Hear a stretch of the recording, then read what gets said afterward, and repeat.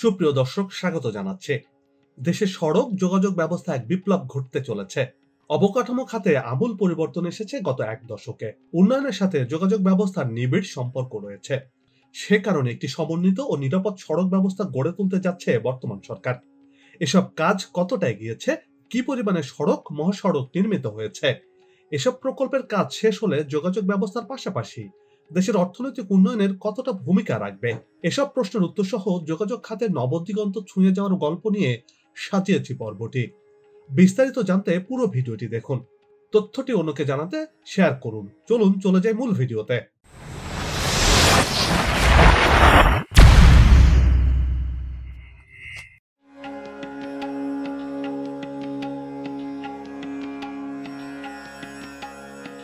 দেশের অর্থনৈতিক উন্নতিতে পরিবহন ও যোগাযোগ ব্যবস্থার গুরুত্ব অপরিসীম। যে দেশের পরিবহন ও যোগাযোগ ব্যবস্থা যত উন্নত, সেই দেশের অর্থনীতিও তত উন্নত ও মজবুত। যে কোনো দেশের অর্থনৈতিক উন্নয়ন ও অগ্রগতির মূল ভিত্তি পরিবহন ও যোগাযোগ ব্যবস্থার পরিকল্পিত টেকসই উন্নয়ন। মূলত যোগাযোগ ব্যবস্থার উপর নির্ভর করে আবর্তিত হয় দেশের সামগ্রিক অর্থনৈতিক কর্মকাণ্ড।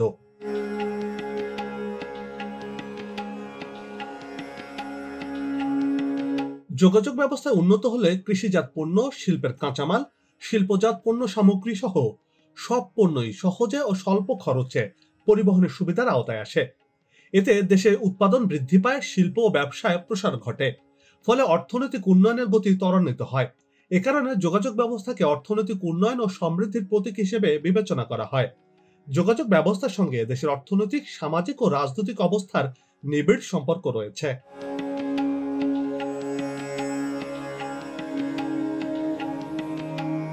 বাংলাদেশেও পরিবহন ব্যবস্থা অর্থনীতির একটি গুরুত্বপূর্ণ উপাদান ও অংশ। কিন্তু একটা সময় দেশের পরিবহন ব্যবস্থা ছিল খুবই দুর্বল। নদীপথে নৌকা, গরুর গাড়ি আর পা হাঁটা ছাড়া তেমন কোনো সড়ক ব্যবস্থা ছিল না। আস্তে আস্তে সময় বদলাতে থাকে।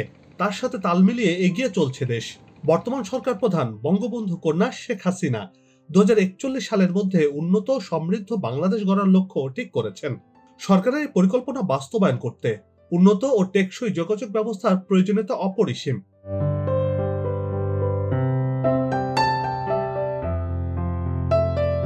সেই বিষয়টিকে বিশেষ গুরুত্ব দিয়ে গেল এক যুগে যোগাযোগ ব্যবস্থায় নতুন এক মাইল ফলক ছুঁতে চলেছে। যোগাযোগ ব্যবস্থার উন্নয়নে বদলে যাচ্ছে বাংলাদেশ। তাই স্বাধীনতার পঞ্চাশ বছরে এসে দেশের সড়ক যোগাযোগ ব্যবস্থায় আমূল পরিবর্তন এসেছে। একসময় যোগাযোগ বিচ্ছিন্ন, দুর্গম হাওয়ার কিংবা চলনবিলের মতো এলাকাতেও বর্তমানে সড়ক নেটওয়ার্কের আওতায় এসেছে। গ্রামীণ এই জনপদেও এখন পরিবেশ বান্ধব সড়ক যোগাযোগ ব্যবস্থা গড়ে উঠেছে।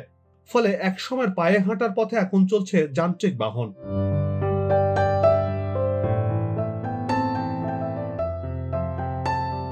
যোগাযোগ খাতে যে বড় ধরনের পরিবর্তনের হাওয়া লেগেছে, তার দৃষ্টান্ত হলো ঢাকা মাওয়া ভাঙা এক্সপ্রেসওয়ে। এটি দেশের প্রথম এবং একমাত্র এক্সপ্রেসওয়ে, আরামদায়ক ও নিরবিচ্ছিন্ন যাতায়াত নিশ্চিত করতে। আধুনিক সব সুযোগ সুবিধা সম্মিলিত পঞ্চান্ন কিলোমিটার দীর্ঘ এ এক্সপ্রেসওয়ে নির্মাণ করা হয়। স্বপ্নের পদ্মা সেতু চালু হলে এই সড়ক দেশের অর্থনীতিতে বড় ধরনের অবদান রাখবে। বর্তমানে প্রায় সাড়ে বাইশ হাজার কিলোমিটার মহাসড়ক নেটওয়ার্ক তৈরি হয়েছে।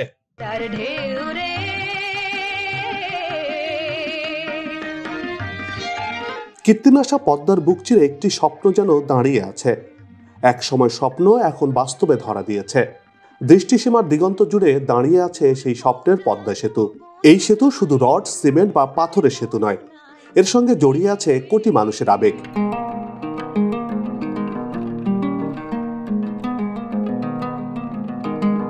সম্পূর্ণ নিজের টাকায় নির্মাণ করা সেতু দেশের মানুষকে স্বপ্ন দেখিয়ে তা বাস্তবে ধরা দিতে চলেছে। এই একটি সেতু দেশের মর্যাদাকে প্রতিষ্ঠিত করেছে। সেই সেতু সাহসের নাম, এগিয়ে যাওয়ার নাম। সব চ্যালেঞ্জ মোকাবেলা করে আজ পদ্মা সেতু স্বপ্ন হয়ে থাকেনি, বাস্তবে ধরা দিয়েছে।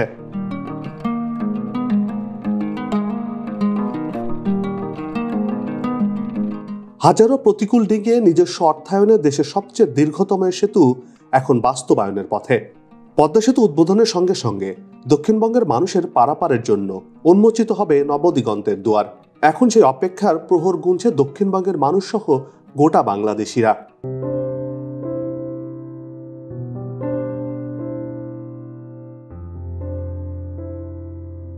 মাটির তলদেশ থেকে আকাশ পর্যন্ত সর্বত্র চলছে উন্নয়নের কর্মযজ্ঞ।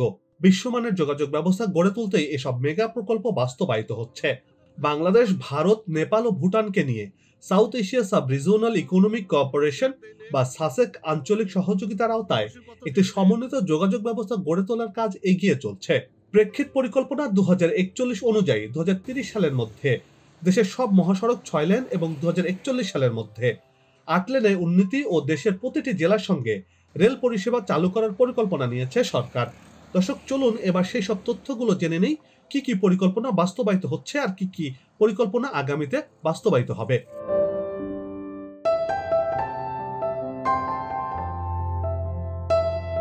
গেল এক যুগে চারশো তিপ্পান্ন কিলোমিটার জাতীয় মহাসড়ক দুই লেন থেকে চার লেন বা তার বেশি লেনে উন্নতি করা হয়েছে। যার মধ্যে দেশের অর্থনীতির লাইফলাইন খ্যাত ঢাকা চট্টগ্রাম একশো নব্বই কিলোমিটার মহাসড়ক চার লেনে উন্নীত করা হয়েছে, যা দেশের প্রথম চার লেনের মহাসড়ক। সেই সাথে যাত্রাবাড়ি কাঁচপুর পর্যন্ত আট লেন মহাসড়ক নির্মিত হয়েছে। আর যাত্রাবাড়ি এলাকাতে নির্বিঘ্নে ঢাকায় প্রবেশ ও ঢাকা থেকে বের হওয়ার জন্য যাত্রাবাড়ি ড্যামলা রুটে ছয় লেনের সড়ক নির্মিত হচ্ছে। এরই মধ্যে এই অংশের সড়ক দৃশ্যমান হয়েছে।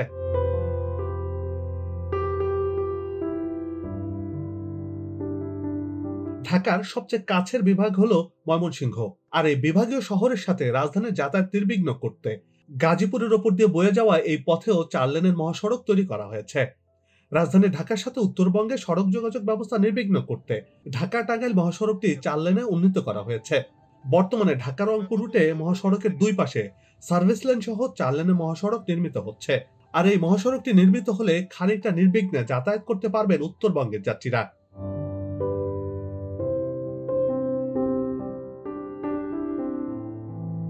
একই সাথে উত্তরবঙ্গ সহ ময়মনসিংহের যানবাহনগুলো যাতে করে ঢাকায় প্রবেশ না করে সরাসরি চট্টগ্রাম বা সিলেট মহাসড়কে চলাচল করতে পারে। সেজন্য ঢাকা বাইপাস সড়কও নির্মিত হচ্ছে। এরই মধ্যে এই সড়কটি আলাদা সার্ভিস লেন সহ চার লেনের মহাসড়ক তৈরির কাজ অনেকখানি এগিয়েছে। অনেক জায়গায় দৃশ্যমান হয়েছে বাইপাস সড়কটি। বর্তমানে চারশো একচল্লিশ কিলোমিটার মহাসড়ক উভয় পাশে পৃথক সার্ভিস লাইন সহ একশো ছিয়াত্তর কিলোমিটার মহাসড়ক সার্ভিস লাইন ব্যতীত চার লেনে উন্নীত করার কাজ এগিয়ে চলছে।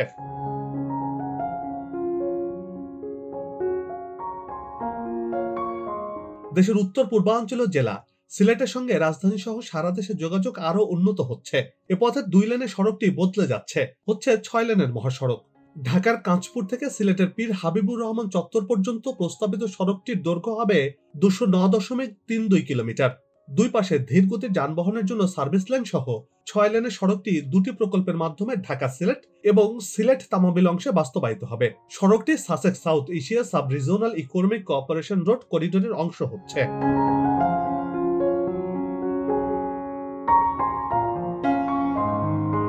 যোগাযোগের ক্ষেত্রে সড়ক, রেল, আকাশ ও নৌপথকে সমান গুরুত্ব দিয়ে একটি আন্তর্জাতিক মানের যোগাযোগ ব্যবস্থা গড়ে তোলার কাজ এগিয়ে চলছে। আধুনিক গণপরিবহনের মধ্যে মেট্রো রেল সবচেয়ে জনপ্রিয় হয়ে উঠেছে। ঢাকা মহানগরী ও পার্শ্ববর্তী এলাকার যানজট নিরসনে ও পরিবেশ উন্নয়নে ছয়টি মেট্রো রেলের সমন্বয়ে উড়াল ও পাতাল সহ প্রায় একশো উনত্রিশ কিলোমিটার দীর্ঘ একটি শক্তিশালী মেট্রো নেটওয়ার্ক গড়ে তুলতে কাজ করছে সরকার, যার মধ্যে এমআরটি সিক্স এর কাজ অনেক দূরে গিয়েছে। সবকিছু ঠিকঠাক থাকলে চলতি বছরের ডিসেম্বরে উত্তরা থেকে আগারগাঁও পর্যন্ত চলবে এই মেট্রো রেল। পরের বছর এই ট্রেন মতিঝিল হয়ে কমলাপুর পর্যন্ত যাবে।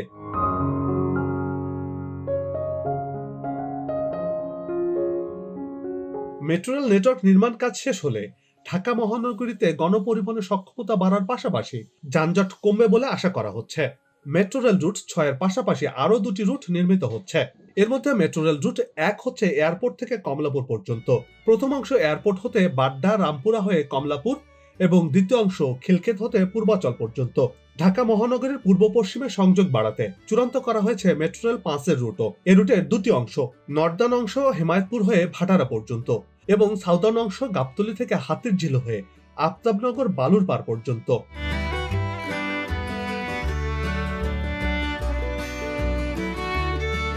গাজীপুরের সাথে ঢাকা মহানগরীর যাতায়াত সহজতর করতে। গাজীপুর হতে বিমানবন্দর পর্যন্ত সাড়ে চার কিলোমিটার এলিভেটেড বাস লেন সহ সাড়ে বিশ কিলোমিটার ডেডিকেটেড বাস লেন বা বিআরটি নির্মাণের কাজ এগিয়ে চলছে। এই পথে ধীরগতির যানবাহনের জন্য থাকছে আলাদা লেন। এ প্রকল্পের আওতায় দশ লেন বিশিষ্ট টঙ্গী সেতু সহ ছয়টি ফ্লাইওভার ও ওভারপাস নির্মিত হচ্ছে। সড়কের মাঝ বরাবর দুটি আলাদা লেন দিয়ে দ্রুতগতির বাস চলাচল করবে। এই বিআরটি নির্মাণের দীর্ঘসূত্রিতার কারণে এই পথে যাত্রীদের কাছে বিআরটি প্রকল্পটি গলার কাঁটা হয়ে দাঁড়িয়েছে। তবে সব সমালোচনা শেষে চলতি বছরে বিআরটি চালু করার নির্দেশনা দিয়েছেন সড়ক পরিবহন ও সেতুমন্ত্রী ওবায়দুল কাদের।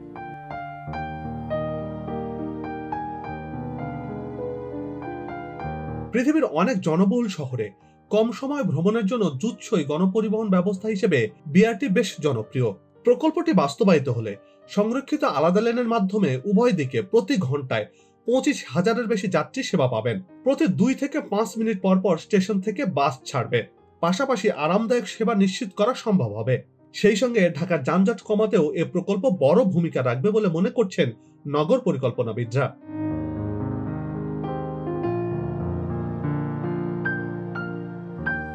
রাজধানী ঢাকার যানজট নিরসনে কতই না উদ্যোগ নেওয়া হয়েছে? হজরত শাহজালাল আন্তর্জাতিক বিমানবন্দর হতে বনানী কমলাপুর হয়ে ঢাকা, চট্টগ্রাম মহাসড়কের কুতুবখালী পর্যন্ত ঢাকা এলিভেটেড এক্সপ্রেসওয়ে নির্মিত হচ্ছে। এই উড়াল সড়কের কারণে ঢাকা মহানগরীর যানজট নিরসন হবে বলে মনে করা হচ্ছে। নানা জটিলতা শেষে পুরোদমে এগিয়ে চলছে এই প্রকল্পের কাজ। চলতি বছরের শেষ নাগাদ ঢাকা এলিভেটেড এক্সপ্রেসের একাংশ খুলে দেওয়ার কথাও রয়েছে।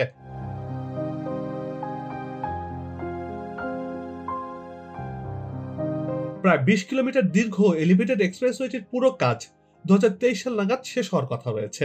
নির্মাণ কাজ শতভাগ শেষ হলে নগরের বিমানবন্দর সংলগ্ন কাওলা থেকে একেবারে কুতুবখালী পর্যন্ত খুব অল্প সময়ে পৌঁছানো যাবে। সময় এবং খরচ দুটোই সাশ্রয় হবে। এক্সপ্রেসওয়েতে গাড়ি চলবে আশি কিলোমিটার বেগে। যানবাহনের জন্য খুলে দেওয়া হলে বিমানবন্দর থেকে ফার্মগেট, মগবাজার, পল্টন, মতিঝিল, যাত্রাবাড়ি পর্যন্ত সড়কের উপর গাড়ির চাপ অনেকাংশে কমে যাবে বলে মনে করছেন নগর পরিবহন বিশ্লেষকরা।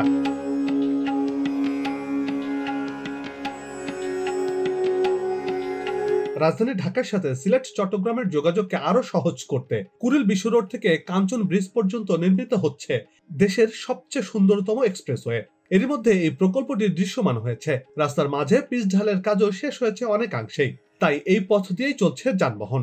সেই সাথে আমেরিকা এম্বাসির সামনে থেকে একশো ফিট হয়ে আরেকটি ছয় লেনের সড়ক নির্মাণের কাজ এগিয়ে চলছে। এই সড়কটি একদিকে পূর্বাঞ্চল এক্সপ্রেসওয়ের সাথে যেমন মিশবে, তেমনি আবার নারায়ণগঞ্জের শীতলক্ষা নদীর ওপর নির্মিত গাজী সেতুর সাথেও মিশবে।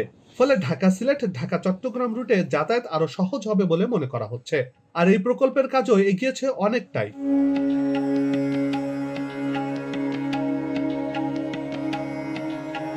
চট্টগ্রাম বাংলাদেশের প্রধান বন্দর নগরী এবং দ্বিতীয় বৃহত্তম শহর।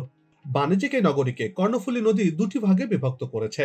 নদীর একাংশে রয়েছে শহর ও বন্দর এবং অপর অংশে রয়েছে ভারী শিল্প কলকারখানা। শহরের দুটি অংশ প্রথম ও দ্বিতীয় কর্ণফুলী সেতু দ্বারা সংযুক্ত, যা চট্টগ্রাম বন্দর হতে যথাক্রমে সাড়ে নয় কিলোমিটার ও একুশ কিলোমিটার উজানে অবস্থিত।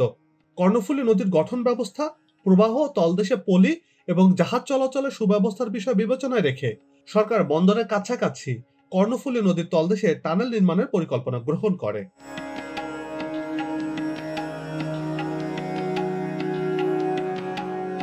চার লেন বিশিষ্ট বঙ্গবন্ধু শেখ মুজিবুর রহমান টানেলে দুটি টিউব রয়েছে। নদীর তলদেশ দিয়ে যাওয়া টানেল দুটি টিউবের খনন কাজ এরই মধ্যে শেষ হয়েছে। নির্মাণ সংশ্লিষ্টরা জানিয়েছেন, বঙ্গবন্ধু টানেল নির্মাণ কাজ ফেব্রুয়ারি পর্যন্ত একাশি শতাংশ শেষ হয়েছে। দুই পাশে সংযোগ সড়কের কাজও পুরোদমে এগিয়ে চলছে।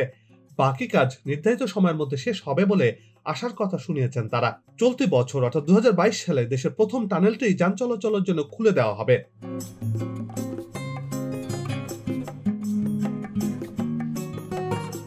টানেল নির্মাণের ফলে চট্টগ্রাম শহর ওয়ান সিটি টু টাউন মডেলে গড়ে উঠবে।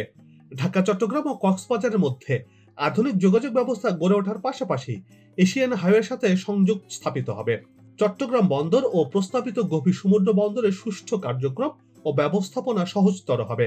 কর্ণফুলী নদীর পূর্ব প্রান্তের প্রস্তাবিত শিল্প এলাকার উন্নয়ন ত্বরান্বিত হবে এবং পশ্চিম প্রান্তে অবস্থিত চট্টগ্রাম শহর বন্দর ও বিমানবন্দরের সাথে উন্নত ও সহজ যোগাযোগ ব্যবস্থা গড়ে উঠবে। ফলে পূর্ব প্রান্তের শিল্প কারখানার কাঁচামাল ও প্রস্তুতকৃত মালামাল চট্টগ্রাম বন্দর, বিমানবন্দর ও দেশের উত্তর পশ্চিমাঞ্চলে পরিবহন সহজ হবে। অর্থনৈতিক দিক থেকে এগিয়ে যাবে বাংলাদেশ।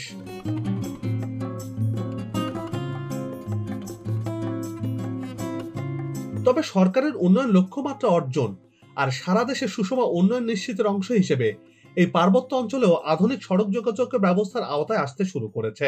রাঙামাটি খাগড়াছড়ি ও বান্দরবন জেলাকে ঢাকা সহ সারা দেশের সাথে সরাসরি যুক্ত করতে পাহাড়ের কোল ঘেঁষে দৃষ্টিনন্দন সড়ক নির্মিত হয়েছে।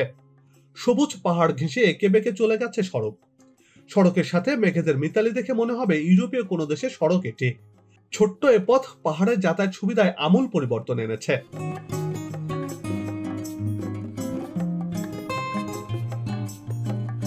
যোগাযোগ বান্ধব নীতির ফলে এখাতে ইতিমধ্যে ব্যাপক পরিবর্তন এসেছে। দেশের অর্থনীতির ক্রমবর্ধমান বিকাশ এবং যানবাহন সংখ্যা বৃদ্ধি পাওয়ায় টেকসই সড়ক অবকাঠামো নির্মাণ জরুরি।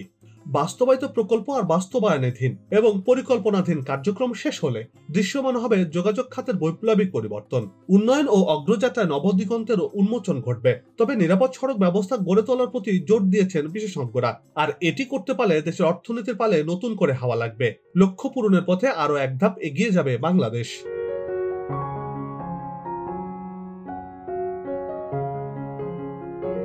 দর্শক, আজকে পর্যন্ত বিদায় নিতে হচ্ছে। তবে যাবার আগে সেই একই অনুরোধ, যেখানে সেখানে ময়লা আবর্জনা ফেলবেন না, পরিবেশের ক্ষতি করবেন না।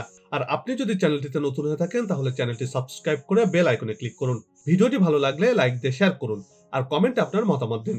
আগামীতে আবারও দেখা হবে নতুন কোনো জায়গা, তথ্য, ইতিহাস আর উন্নয়ন চিত্র নিয়ে। কি ধরনের ভিডিও দেখতে চান, কমেন্ট বক্সে লিখে তা আমাদেরকে জানান। করোনা মহামারী থেকে নিরাপদে থাকুন, ভালো থাকুন আর আমাদের সাথেই থাকুন।